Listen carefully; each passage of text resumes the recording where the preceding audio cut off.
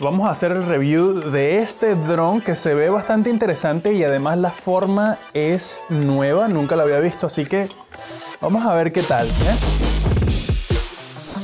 Vamos a saltar de una vez al review y es que este dron es como todos los demás, viene en una caja y todos los componentes y pues trae los brazos por separado como vieron eh, ahí tengo el cuerpo, le voy a colocar la batería que por cierto también se carga con un puerto USB y pues luego de colocarla tenemos cada brazo por separado como ven acá y se van conectando según la letra que corresponda al cuerpo. Entonces conectamos aquí todos los brazos y queda como una forma de una araña. Es bastante extraña la forma de este dron. Ahora tenemos aquí el radio control que es expandible para poder colocar nuestro teléfono móvil y tiene unos cuantos botones. Tenemos que colocar las baterías AA, que son cuatro de ellas, y colocarle unos tornillos a las tapas para que no se salgan las baterías y pues no perdamos el control.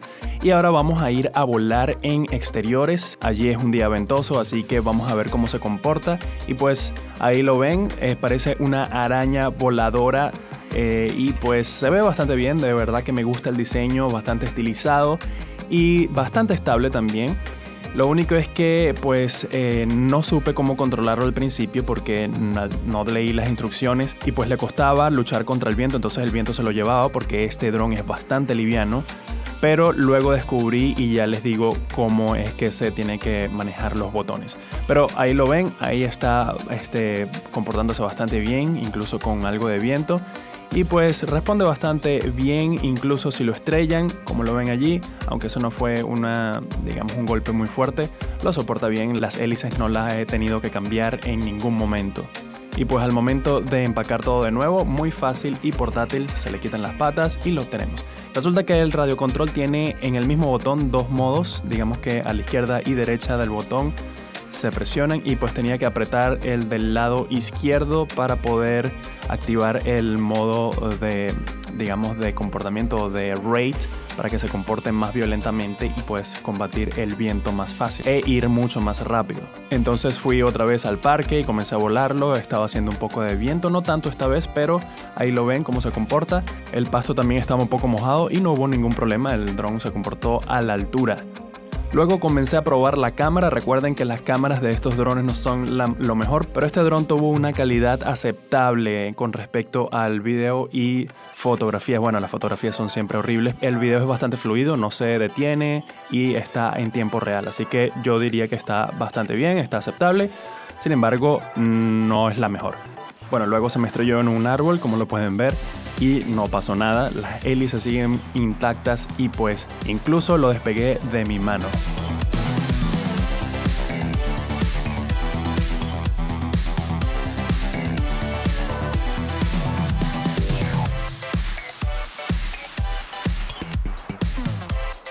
Y bueno, en realidad no puedo decir mucho de este dron, es bastante sencillo, es como los otros, simplemente con una carcasa distinta en forma de araña y pues puede hacer las mismas maniobras y funciones de los otros drones que les he hecho el review anteriormente, se puede volar con la aplicación del teléfono.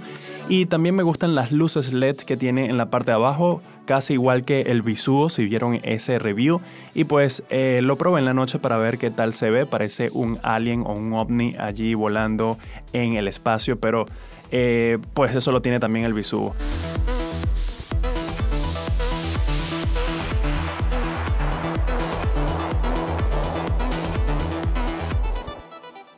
También fui a volarlo en interiores, no en ropa interior, pero en lugares cerrados. Y pues allí vuela mucho más estable porque no hay viento ni nada que lo interrumpa, que lo, que lo mueva de su lugar. Y pues se comporta excelente, es bastante estable, pueden hacer maniobras, pueden hacer todas las cosas, pero teniendo cuidado porque las hélices están descubiertas y lamentablemente este dron viene sin protectores de hélices, así que eh, tienen que tener cuidado, tienen que tener una mejor noción del el vuelo, tienen que ser mejores pilotos para poder eh, volar sin chocar con nada allí en eh, lugares cerrados.